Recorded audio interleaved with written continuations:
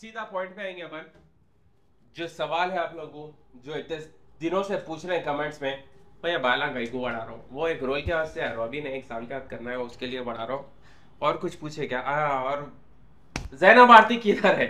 पहले आरती इससे आएँगे। आरती जो है शिकागो शिफ्ट हो गई। दो साल हो गए उसको। उन्हें अब हैदराबाद में नहीं है शिकागो में उन्हें शिकागो यहाँ है, हैदराबाद यहाँ है। वीडियो बनाना इम्पॉसिबल है, समझ नहीं आरती, समायरा, छोटी से शिकागो में है, हैदराबाद में नहीं है। देखो अल्लाह भी बज रही है, सही बोल रहा हूँ मैं। नहीं, उसके करियर पे फोकस कर रही है हर यूट्यूब आर्टिस्ट का करियर यूट्यूब बीच नहीं रहता।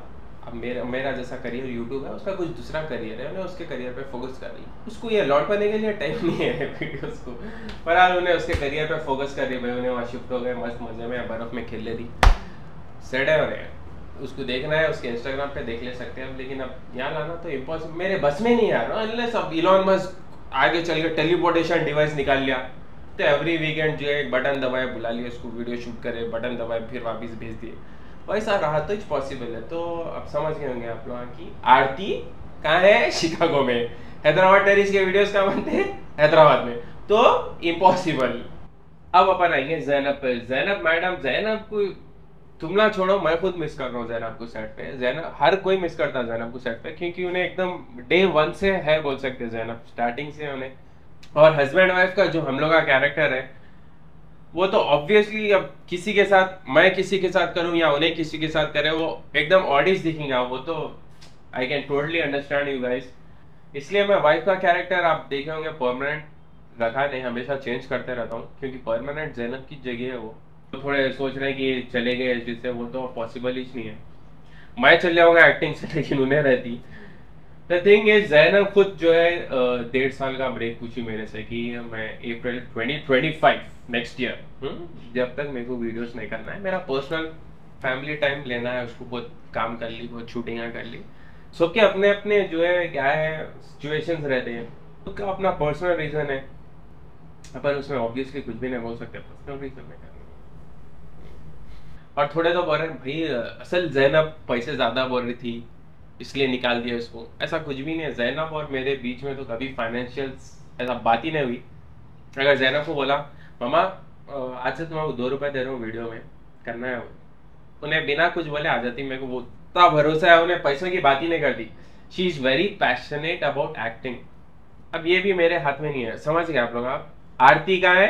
शिकागो में। हैदराबाद डेयरी हैदराबाद में वीडियो बनना इम्पॉसिबल है। जैनब को क्या हुआ? जैनब को डेढ़ साल का पर्सनल फैमिली ब्रेक होने का है। बस ज़बरदस्ती गला पकड़ के तो लाने, जब तुम चल वीडियोस करो बोल के तो दैट इज़ इम्पॉसिबल तो ये वीडियो बनाने का मकसद यही है कि अब जो न्यू आर्टिस्ट आ रहे हैं मतलब वाइफ का कैरेक्टर तो परमानेंट होने वाला है नहीं। तो जो भी आ रहे हैं लोगों सपोर्ट करो। क्या होता है, अब नए आर्टिस्ट जो भी आते हैं, पहले यूट्यूब पे इधर आर्टिस्ट है हैदराबाद में।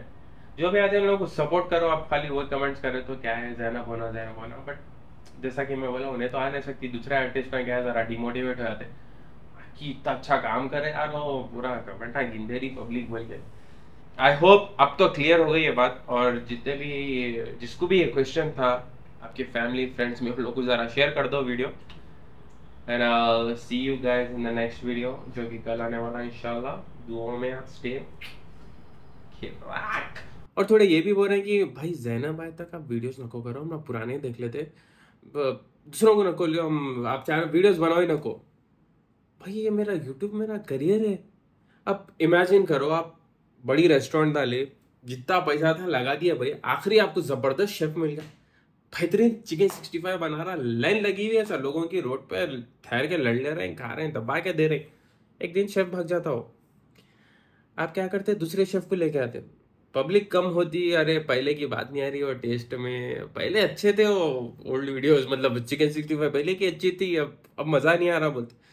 बट आप होटल बंद नहीं कर देते। समझ रहे मेरी पॉइंट मैं यूट्यूब चैनल बंद नहीं कर सकता यार वो। अब ये ये जो टी शर्ट दिख रही, अब ये फटी टी शर्ट क्या है, मैं पहना तो फ़ैशन है। अब मैं यूट्यूब चैनल बंद करा तो रियलिटी हो जाती है। समझ रहे तो ज़रा सेंस की बात करें तो अच्छा दिखेगा मेरे को। I hope you guys understood my point